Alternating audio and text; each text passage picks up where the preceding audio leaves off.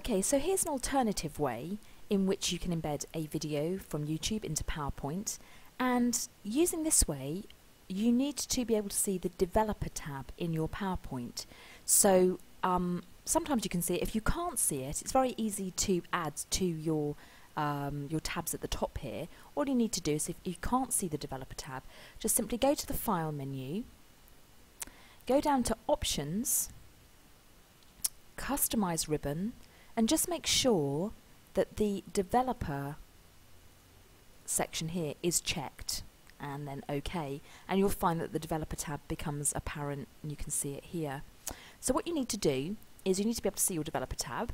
I'm going to again just quickly grab my YouTube video and I don't need the embed code if I do it this way. I'm just going to copy the URL or the website address of the YouTube video, go back into my PowerPoint and then using the developer uh, tab here, I'm going to go to the toolbox and then I'm going to go down to Shockwave.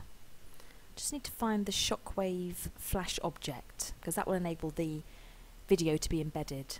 So let me just click on Shockwave Flash Object and click OK. And you'll notice that a uh, cross appears on the screen. And that will enable me to draw where I'd like the video to play. So let's just draw that. And again, I've just put in a, a template of a TV screen to make the slide a bit more interesting. And you'll see that this sort of envelope looking um, box appear. And then what you need to do is just right click and select properties.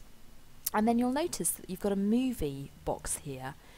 If I just click in there and I just paste in that website address of my video, that will appear in there.